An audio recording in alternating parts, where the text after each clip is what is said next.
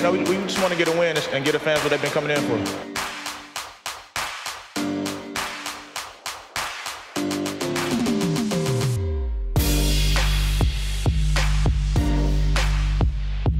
You have been absolutely incredible over the last handful of games. What has been the key for you lately? I mean, Fizz and Coach Smartberg, not me. I'm just doing my job, um, training hard, preparing myself for the games, and uh, not quitting. The Knicks hit eight straight threes in the fourth quarter. Our urgency went up a notch. I think our zone helped us.